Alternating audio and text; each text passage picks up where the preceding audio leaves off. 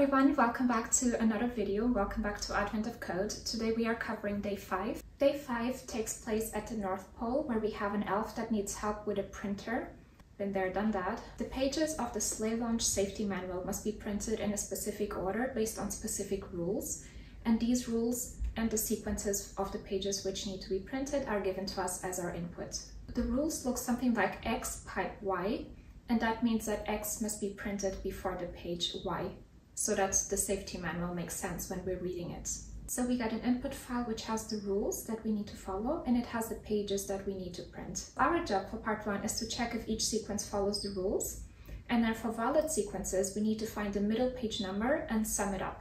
And then for part two, we need to pay attention to the invalid sequences and we need to see if there's any way we can reorder them so that they are compliant with the rules and then compute and sum their middle pages as well. So I solved part one using hash maps actually. Hash maps, as we all know, offer constant time lookups and that's why they seemed very appealing to me for this exercise. If we were to solve this problem on paper, what we would do is that we would take each number of the sequence and we would look it up on our rules and see what the dependencies are and what the rules are. We would basically try to figure out what needs to come before this number and what needs to come after to see if our sequence is valid, right? So that is what I tried to do with a hash map. I designed a nested hash map where the keys are the numbers and my rules, and the final value is the relationship between each pair of numbers so that I can look it up in constant time. For example, if we have one pipe 5, meaning 1 comes before 5 in our rules, I would create a hash map which has a key of 1 pointing to another hash map which has a key of 5 and a value of b and this reads as 1 comes before 5. Then I have another entry in the hash map where 5 is the key, and uh, this points to a second hash map where 1 is the key and the value is a. And this reads as 5 is before 1.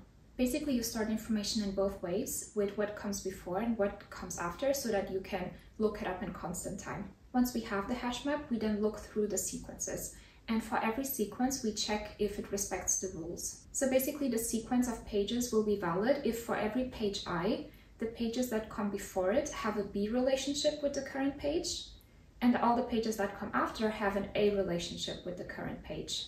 So the last hurdle to complete part one was to sum up the middle elements of the valid sequences, and this can be done with a little function that checks the length of each sequence and then indexes to the middle. You can do this using an integer division by 2. The exercise doesn't specify what should happen if you have an even length sequence, so I just treated it as the default from an integer division by 2, which I believe rounds it up, and then I got to the right answer for part 1. I think hash maps are ideal for these exercises because they provide efficient lookups and updates, and you can quickly validate the ordering constraints between pages. Also, the ability of hash maps to associate keys to different kinds of values makes it easier to represent our constraints and the rules. So I was able to associate a key to another hash map, which again contains a key, and finally the value, which represents the relationship between key 1 and key 2. To be perfectly transparent, I did not have time to solve part 2. Part 2 is a bit time consuming in my opinion, but I did read through it, and I would approach it using a graph. I would basically try to solve it by building a graph and building another hash map and I will explain why. I would basically build a directed graph where the numbers from the rules are the vertices and their connections are the edges. And while I would build the graph, I would use a hash map to keep track of how many numbers will have to come after each number so that we know how much buffer there needs to be between the numbers.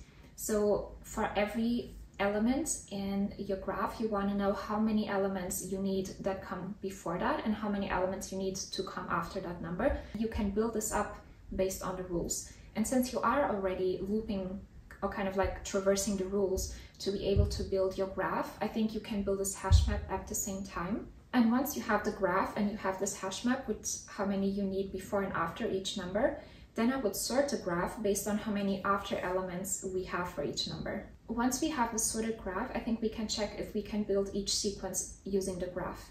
I'm not sure if this would work, especially this last part on how we use the graph specifically to try to um, see if reordering the numbers would work.